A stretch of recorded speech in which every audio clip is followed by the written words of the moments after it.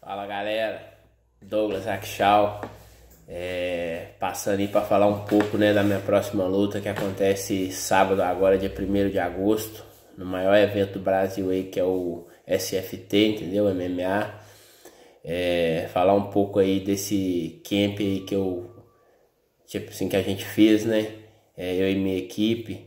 É, apesar dos contratempos nesse período de pandemia aí, é tipo assim, a gente conseguiu treinar bem, entendeu? Tô bem treinado, tô bem preparado, tipo, foi um camp bem inteligente, bem focado.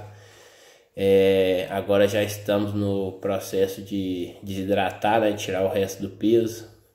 Sexta-feira é a pesagem e sábado é guerra, sábado é treta. Então, tipo, acompanha aí pelo, pelo YouTube do evento entendeu? SFT MMA e também ao vivo na Band.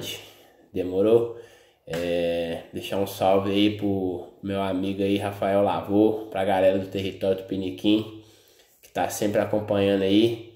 E não perde não, assiste aí que vai ser treta, viu? Rakshal tá treinado, Rakshal tá bem, tá preparado.